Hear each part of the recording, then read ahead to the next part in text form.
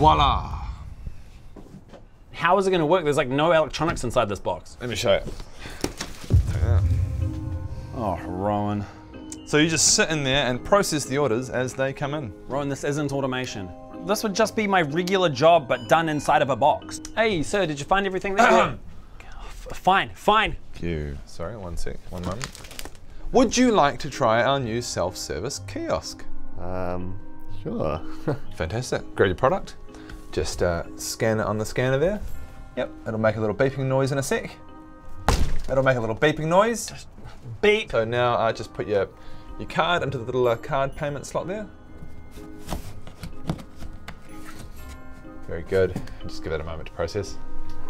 No, no, no, no, no, no. Once it's finished processing, it'll make a beeping sound. Beep. Fantastic. You can take your card now. And that's all done. Wasn't that hard, was it? Thank you.